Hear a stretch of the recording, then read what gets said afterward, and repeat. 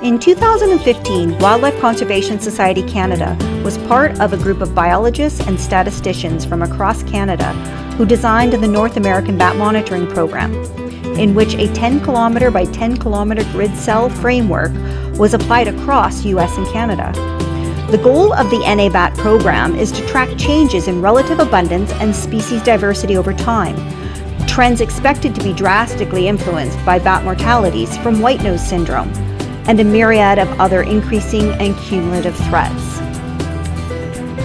NABAT depends heavily on the use of bat detectors, which record the ultrasonic signals that bats produce when they echolocate at night to navigate and find insect prey in the dark. A grid cell will be monitored each summer for at least one week using two to four stationary detectors. Generally, the microphone is boosted high up for good quality recordings. In the Bonanza Kootenay Connect corridor, two grid cells were selected for monitoring.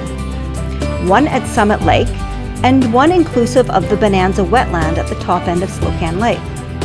Five stationary detectors located at the yellow dots were deployed in June of 2020. And drawn here as a line along Wilson Creek Road is the route driven, with a detector's microphone mounted on the roof of a vehicle.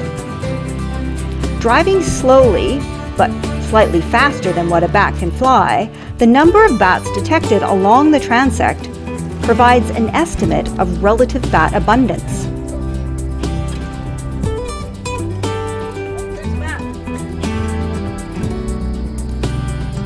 We are monitoring for all bat species with special emphasis on the two federally endangered myotis. Although northern myotis is known less than 60 kilometers to the north of here, no recordings of this species were made in 2020, though we did detect little brown myotis. And we detected eight other species, including the Townsend's big-eared bat. The Summit Bonanza grid cells are two of 16 NABAT cells that we monitor in the Columbia Basin, six of which are in the Kootenay Connect linkage corridors. Across British Columbia in 2020, our program included 54 grid cells thanks to multiple collaborators and partners.